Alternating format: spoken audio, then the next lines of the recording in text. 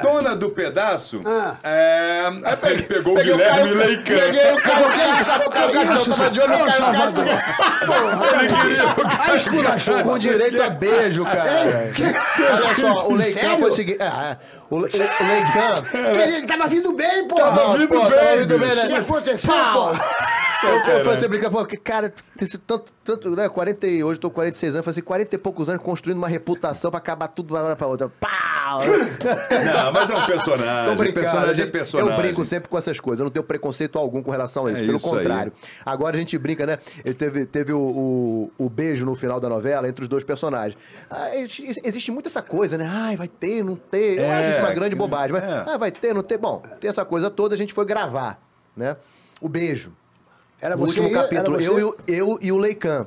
Guilherme Leican. É, Qual o foi a novela? Leican. Não foi a novela? A dona do pedaço. Dona do pedaço, Tá. uma É. das últimas aí. E, e aí foi muito engraçado, porque a gente fez o beijo uma porrada de vezes. Puta Em merda. três níveis. Uma bitoquinha, um médio técnico e um chupão, meu irmão. Eita. Sério, É, só que o chupão, porra, você pode fazer um beijo técnico com um chupão com beijo técnico, sem botar língua, sem nada, né? Claro. Claro. Porra, tô respeitando todas as, as, as minhas pares românticas aí. Vem o Leican e bota a língua. Porra, meu irmão!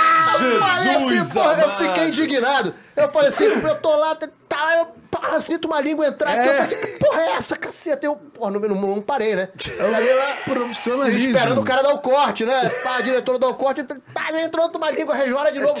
Porra, uma língua gelada, bicho. Aí eu falei assim, caralho. Aí, pô, cortou, eu falei eu falei assim, porra, não tá querendo tirar a casquinha de mim, brother? Porque, pô, não, ele tava nervoso, cara. Acho que aí, aquele nervosismo lá, resvalou a língua. Eu falei, porra, meu irmão, pô, me pede pra sair primeiro. É, Mr. M, sai dessa. E É cá, difícil. e- e- e você teve que fazer uma preparação pra fazer essa cena? Você, porra, é, Não. tranquilo, né, bicho? né?